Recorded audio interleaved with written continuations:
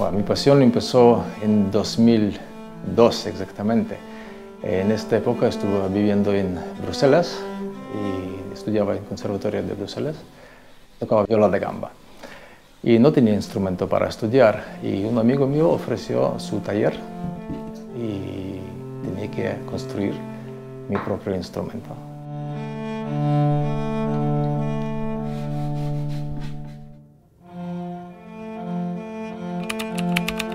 Hola, eh, me llamo Oleg Ivanishuk, soy eh, fabricante y diseñador de instrumentos musicales eh, como vi violines, violas y violonchelos de espalda.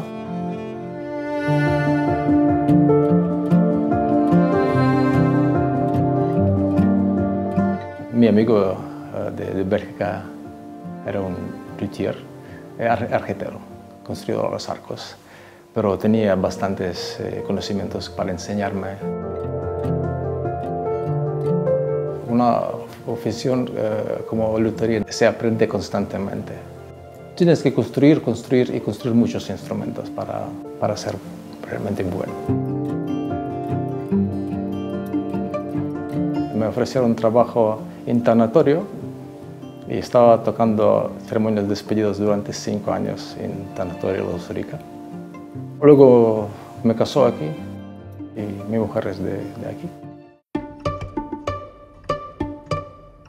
Te llama un, cliente y dice que quiero eh, una viola, pero soy una violinista y tengo manos no muy grandes y además no quiero tocar una viola grande, quiero una viola que tiene ciertas medidas, digamos, particulares. Entonces tú coges esta información y también características, tipo de música que, toca, para qué quiere usar, etc.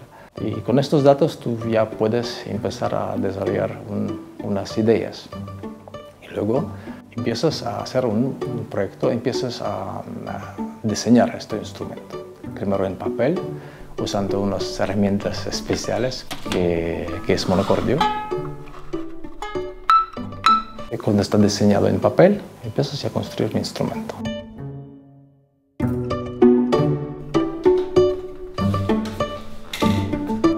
Trabajo sobre molde, molde interior, un estilo italiano.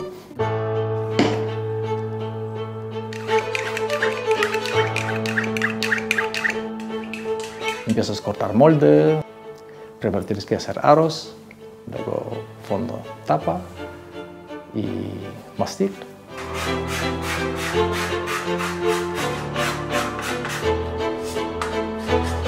Puede tardar, por ejemplo, si hay algo muy urgente, pues bueno, dos, tres meses y normalmente tengo un plazo de medio año hasta siete, ocho meses. Sobre todo disfruto tallando bombadura de, fondo y de, tapa. Por ejemplo, de cuando tienes que doblar los aros también puede ser estresante, depende de, madera. Porque algunas que, sobre todo cuando tienes eh, arce muy rizado, es muy bonito para ver y para luego barnizar, pero ahora de doblar se puede romper muy fácil.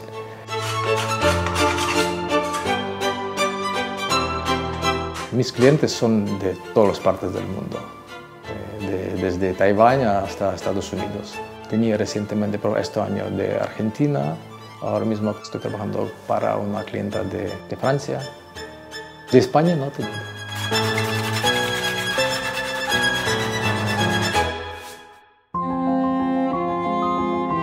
Bueno, en diferencia de un violín de gama inferior y gama superior, obviamente es el sonido de este instrumento comunidad, también cómo está hecho, eh, nivel de artístico.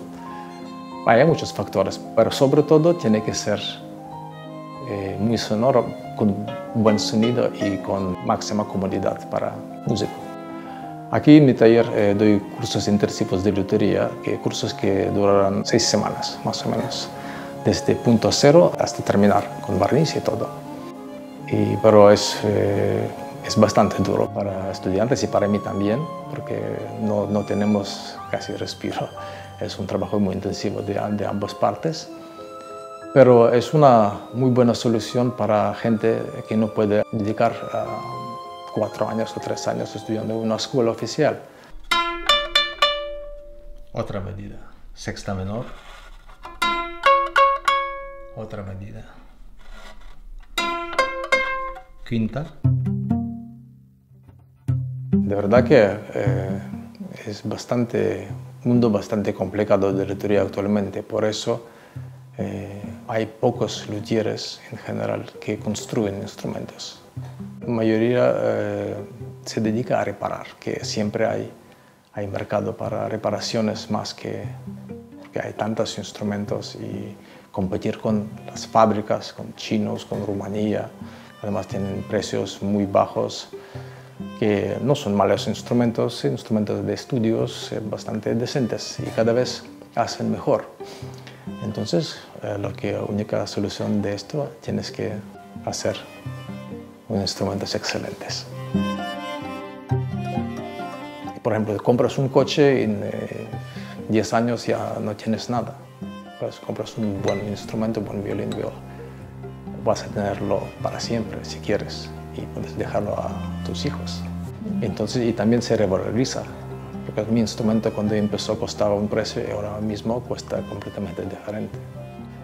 Mucha gente cuando dices que oh, eres luthier, oh, qué bonito oficio, pero claro, eh, sobrevivir con este oficio es difícil. Claro, hay muchas, mucha competencia, pero también hay mucha demanda. Y yo creo que un buen instrumento siempre va a encontrar su, su cliente.